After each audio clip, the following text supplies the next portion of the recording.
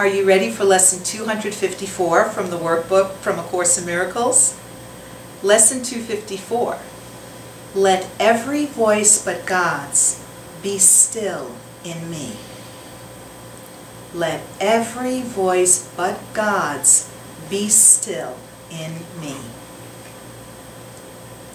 Father, today I would but hear your voice. In deepest silence, I would come to you to hear your voice and to receive your word. I have no prayer but this. I come to you to ask you for the truth.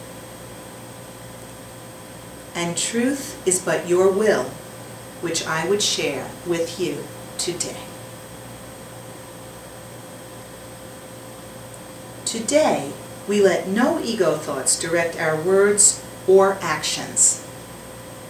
When such thoughts occur, we quietly step back and look at them, and then we let them go.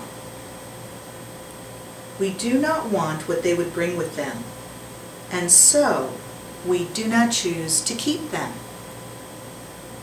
They are silent now and in the stillness, hallowed by His love, God speaks to us and tells us of our will as we have chosen to remember Him.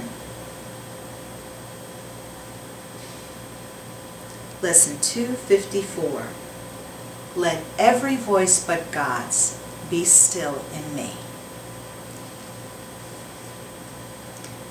Still, if you'd like to read my commentary on the workbook, go to amytorresacim.com and read Amy's blog. Namaste.